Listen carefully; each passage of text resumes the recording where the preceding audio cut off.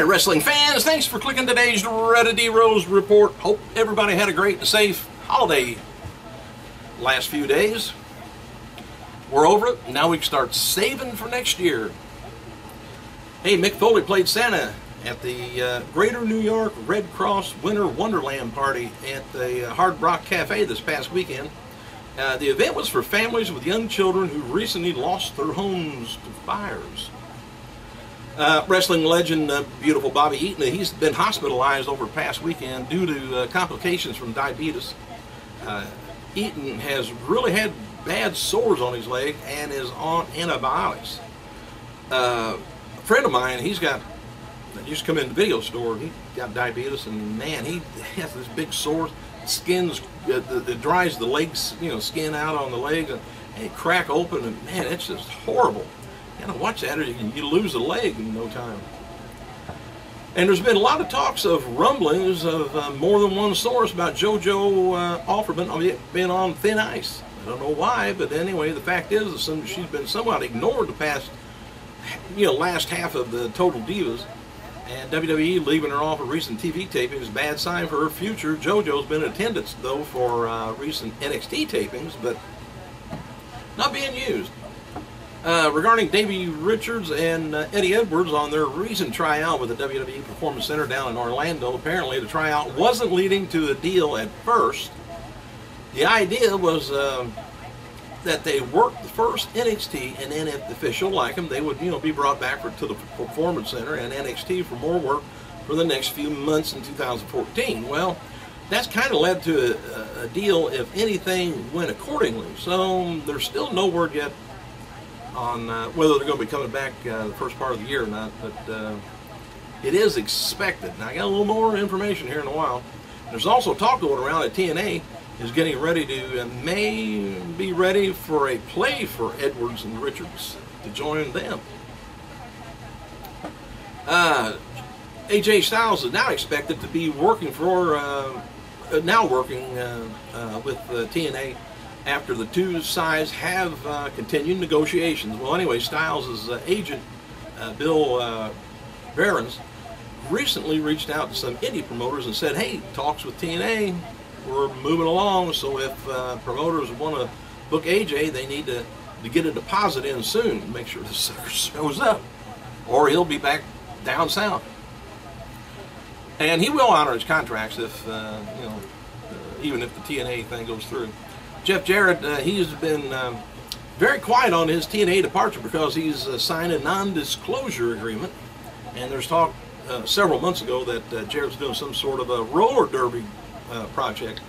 Uh, but besides a lot of speculation, there's no word yet on his future plans. Roller derby, people's tried that for years. I know when I was a kid, I think there was roller derby. it was it was going quite well, but I think he got brought back maybe four or five years ago and kind of just laid there. WWE is advertising the January 6th Raw. The first Raw show of 2014 may have an old school theme. And the show is being held Baltimore, Maryland at the Baltimore uh, Arena. Dark main event being advertised as John Cena versus Randy Orton for the WWE World Heavyweight title with Booker T as special guest referee. And at this point, no other legends have been even mentioned. And happy birthday to JCP star Brad Agent Steele Anderson, Brad, Brad Anderson, uh, 44 years old, two-time uh, Ring of Honor champion, a former WWE developmental talent, uh, Chris Hero, 34. Today would have been the birthday of NWA Junior Heavyweight Champion Iron Mike DiBiase. Would have been 90 years old. Now for the current news, I'll be done here in a few there's not much news you know going on right now because a lot of people are over they're either overseas or they're home not on the road getting into mischief.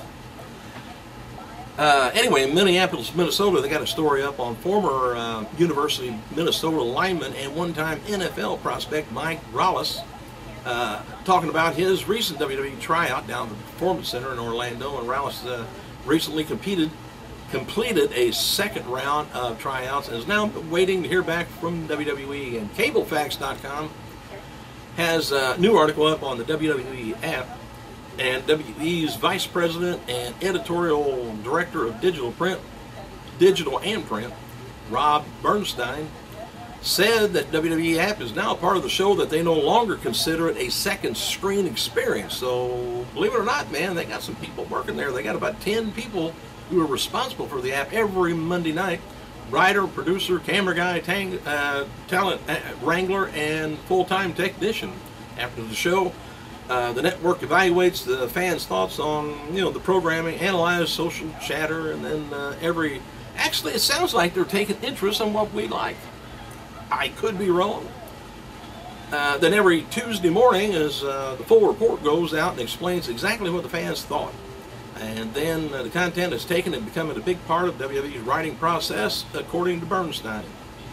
Bernstein added that they want fans to be able to bend the story with polling uh, during the show also, such as, you know, fans voting for stipulations.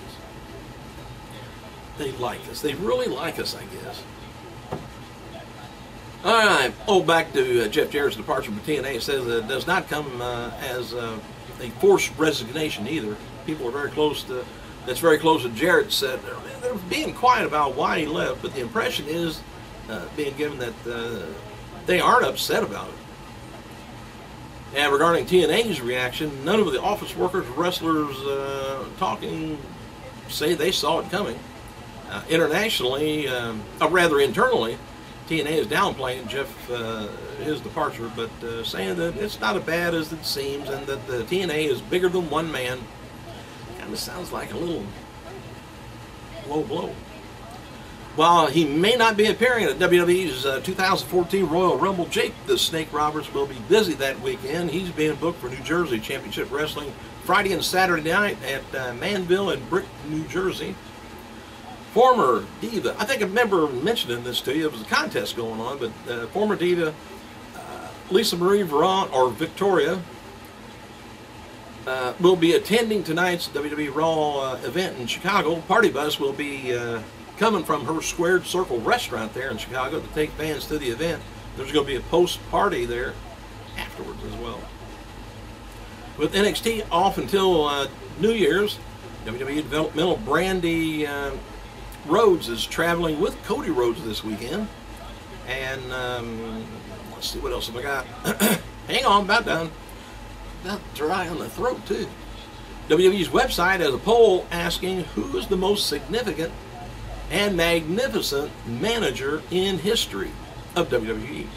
I thought it would be a shoe in, but so far uh, there's about 64,000 votes cast, and some of the people that was up for the voting on was uh, Heenan, Hart, Albano, uh, Dillon, uh, well, Sensational Sherri, Blassie, Miss Elizabeth, Paul Bearer, Fuji, and Heyman. And with those 64,000 votes, believe it or not, that's kind of surprising. But Paul Bearer is currently in the lead with 30%. Heyman is close with 20%. Heenan is next at 15. I thought for sure it would be uh, uh, just a runaway with Heenan. I thought that'd be a silly thing to even ask voting on, but hey, I might be wrong. And at the end of this year, too. I can start next year, being right all year, all right. Anyway, uh, tonight's uh, episode of Impact is going to be featuring a special look at the World Heavyweight Champion Magnus and a special announcement from Dixie Carter. And Joe Parks taking on uh, Kazarian and Daniels in a Monsters Ball match plus knockout uh, or in action too.